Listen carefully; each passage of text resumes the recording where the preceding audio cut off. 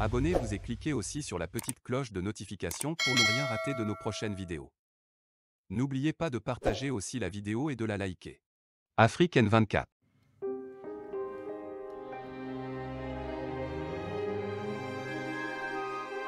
Caron, bonsoir. Euh, je vais répondre à tes inquiétudes. Bonsoir à tous, chers frères et sœurs, un cœur pour le Togo, chers frères Ali, James, Bossingel, grand merci pour tous ces efforts d'explication. Je pense que comme tout le monde, ouais, je ne serai pas le seul à être ravi et satisfait de tous ces éléments de réponse quant à ma question. Euh, néanmoins, il y a un arrêt qui me met mal à l'aise euh, sous ma gorge. Un arrêt qui me tient la gorge. Je pense que tout le monde euh, serait euh, en position capable de se poser ces questions à savoir euh, tout ce que tu viens de déballer, de, nous confirmer, puisque en grande partie nous savions, parce que ce n'est pas pour la première fois que tu nous parlais de tout ça. Tu n'as fait que confirmer ce qui était. Donc, ma question est, depuis ce temps-là, n'as-tu plus, euh, n'as-tu plus pris langue avec Kofi? Qu'est-ce qui s'était passé? Bien qu'est-ce qui se passe? Est-ce que votre relation s'est rompue? Euh, Pourquoi je me pose cette question? Bien je te pose cette question Euh, Parce que il a, a pris un engagement vis-à-vis de son fils que j'aimerais dire toi. Et vis-à-vis aussi du président démocratiquement élu. Et il a dit qu'il fera ça. Pourquoi c'est resté lettre morte et depuis tu n'as pas eu de suite? Et que je pense pas, parce que j'imagine que depuis aussi, il t'a pas appelé et toi, je ne sais pas si tu l'appelles et qu'il ne répond pas. Voilà. Et est-ce que c'est le cas que tu n'as pas la suite du feuilleton? Euh, J'aimerais le savoir. Parce que il en dépend vraiment de la vie des 8 millions de Togolais que nous sommes. Ça fait 30 ans que on nous tourne dans l'incapacité, on nous tourne en bourrique.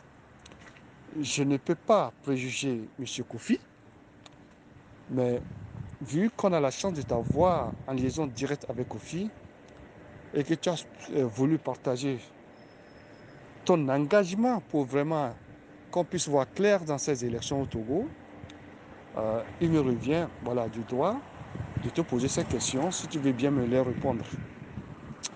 Grand merci en tout cas pour tous ces efforts. Voilà. Et cordialement, merci.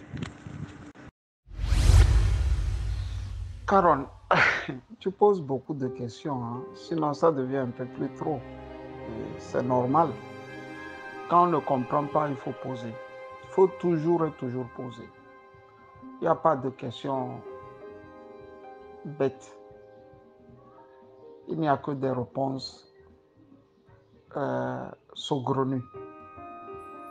La question n'a jamais été un truc bête, quelle que soit la question. C'est la réponse qui crée d'habitude le souci. Quand j'ai dit ça, j'ai voulu te dire que ce n'est pas pour la première fois que Kofi et moi, nous connaissons euh, cette relation en dents de scie, Caron. Euh, en 2005, si tu te rappelles, il y avait une interview qui a fait le tour du monde et qui est restée sur le site de Sursaut. Je pense à moins de quelques trois ou quatre mois, c'était plus d'un million et quelques de lecteurs de Kofi. Je te parle du site de Sursaut qui avait lu l'interview. Et il euh, disait dans cette interview qu'il va amener ceux qui ont tué les 500 Togolais lors de la prise de pouvoir de Fort Gnassingbé à la CPI. C'est moi qui lui avais fait cette interview ou accordé cette interview. C'était minutieusement fait à telle enseigne que ça a été aussi l'un des éléments déclencheurs de la foi de Kofi à rapidement rentrer en politique au Togo. Quand je dis ça, je ne dis pas qu'il n'était pas dans la politique. Je dis cette interview a été l'un des éléments précurseurs. Parce que ça a été vraiment, on vient de tuer les Togolais. Aucun opposant ne dit, ne lance des mots forts.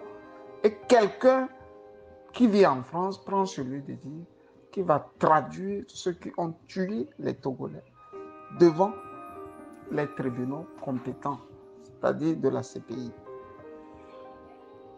Après, 2010 est arrivé. Caron,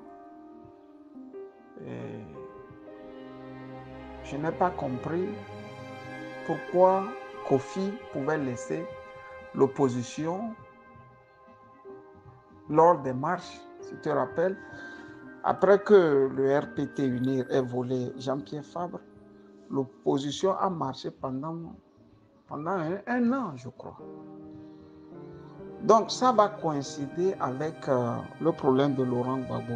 Je ne reviendrai pas beaucoup sur tout ça, mais je te dirai que moi qui te parle, à un moment, Kofi a exigé que SOS Racisme s'occupe de moi, par exemple. Pour la simple raison que je venais de faire un article où je disais eh, trêve aux, aux, ratés africaines. Je ne comprenais pas pourquoi les présidents français ne mariaient pas nos sœurs noires et que de l'autre côté des tropiques, on se vantait d'avoir des femmes blanches euh, au sommet de l'État. Donc, euh, l'article a, pris des tournures où Kofi a dit que SOS Racisme devrait prendre ça et puis me faire la peau. Pour te dire que ce n'est pas la première fois que bon, le fils et le père se tiraillent. Il fut des moments, c'était tellement terrible sur le cas ivoirien, où Ali Akondo a dû intercéder. Il est là, il vit. Kofi l'a appelé pour lui dire que bon, ça ne va plus. Il a dit à Kofi, ben écoute, c'est un père de famille aussi, Camus Ali, il faut l'appeler, c'est ton fils, vous allez traiter de ça. Ce que je sais est que l'affaire Laurent Gbagbo, Ouattara, CPI, m'a à la fin donné raison. Plus que ça, je ne dirais pas. J'ai seulement voulu donner ces, ces exemples-là afin que tu saches qu'il y a toujours eu euh, une relation en temps de si. Je ne suis pas facile dans beaucoup de choses. Kofi non plus n'est pas facile dans beaucoup de choses. Donc, euh, sur ce plan, tu veux bien comprendre que je ne suis pas un enfant qu'on dresse comme ça à suivre, mouton, mouton, quoi. Ou bien, plus simple, d'une manière moutonnière. Maintenant, tu me poses la question à savoir si j'ai repris contact avec Kofi. Que je le veuille ou pas, au nom des relations qu'il a toujours eues avec euh, mes parents, quand je dis même mon papa, c'est limiter ça à mon papa. Je dis mes parents. Tu sais que dans ma famille, il y a eu beaucoup d'intellectuels. Beaucoup. Donc Kofi connaît beaucoup aussi, assez. Donc, euh, euh, momentanément, peut-être, je me suis retiré. Par frustration. Je suis très frustré. Parce que pour moi, c'était l'occasion unique. C'était l'occasion unique pour que le père et le fils font une guerre. D'abord la dictature togolaise. Et le père avait les moyens vraiment de secouer le crocodile. Nos relations vont euh, vraiment sauter quand un soir, euh, j'appelle Kofi et il me fait comprendre qu'Emmanuel Macron a discuté au téléphone avec lui et qu'il veut vraiment le remettre sur scène. Caron, j'ai dit à Kofi, Emmanuel Macron, c'est un voyou. Il est en train de mentir. Combien de temps vous allez vous laisser traîner par ces officiels français? Et là, j'ai compris que non. Euh, la lutte n'était pas là où moi je pensais qu'elle était.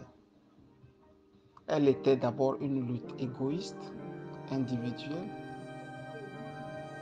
et cynique. Donc j'ai commencé par me, par me retirer. Je ne perds rien en ne parlant pas à Kofi et je ne gagne rien non plus en ne le parlant pas. Ce que je sais est que on aurait pu beaucoup être utile au Togolais à un moment de l'histoire du Togo. Pas pour qu'Agbeme soit président, mais pour montrer que non, on avait une bonne volonté de libérer le Togo à notre manière. Lui, il avait euh, le relationnel et n'importe, et pas n'importe lequel, à la main droite. Et moi, j'avais la fougue de jeunesse de la main gauche. Si ça n'a rien, si ça n'a servi à rien, Caron, souffre que je te dise que bon, je ne peux pas faire, c'est pas accompagner euh, un monsieur, un papa dans cette aventure. Même si c'est mon papa, je ne l'aurais pas accompagné dans cette aventure. Je suis désolé. Tu vois? Donc, je n'ai plus refait un feedback. Je sais où trouver Kofi, mais je n'ai pas fait le feedback. Je pense que sur le plan politique aussi, euh, ça ne vaut même plus la peine de travailler avec lui, de discuter avec lui du Togo. Pour la simple raison, Caron, qu'il y a euh, comment dirais une finalité égoïste. Et pourtant, Kofi sait très bien que déjà en 2010, des services secrets français, comme des officiels français, l'avaient dit de faire un tandem avec Agbe Mokodjo pour libérer le Togo. Ils ne l'avaient pas déjà en son temps fait. Ce n'est pas maintenant, il va le faire. Tu vois, Caron, il y a beaucoup de choses. Peut-être dans les livres, tu nous liras si Dieu nous prête vie. Bonne soirée. Bye bye.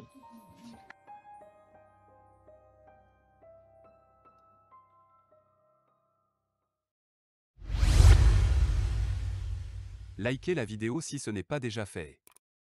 Laissez aussi votre point de vue en commentaire.